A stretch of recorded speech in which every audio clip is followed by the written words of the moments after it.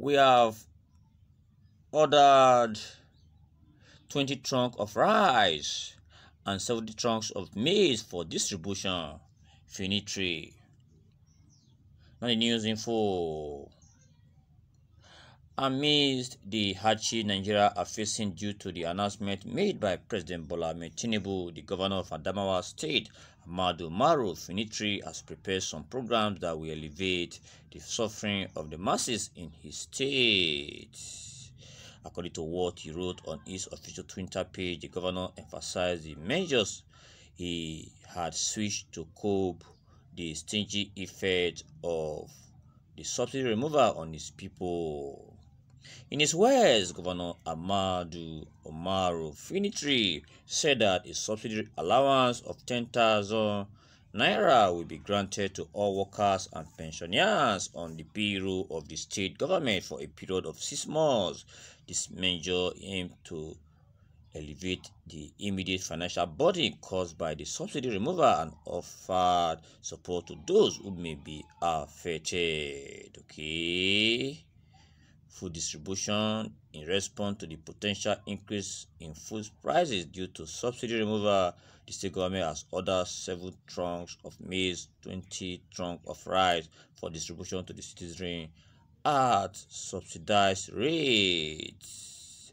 This initiative intend to make essential food items more affordable and accessible to the public okay? In response to the potential increase in food prices due to the subsidy removal the state government has ordered 70 trunks of maize and 20 trunks of rice for distribution to citizenry at subsidized rates okay? Okay therefore my listeners there what be your take on the issue uh, time. We have ordered 20 trunks of rice and 70 trunks of maize for distribution. Fintiri, please react to that. If I was to do so, believe do justice to every of your reaction. Without the video's opinion, already popping in from the comment section. The first one is from Nadi. It's a palliative of, of rice and maize, another scam for embezzlement of money by this governor and his people okay? The from guess state and federal government come together and form formidable force put resources in place and make your refinery work. Remember this refinery was established by our past heroes okay? They're from sheikhs. See these people are always in in for jokes.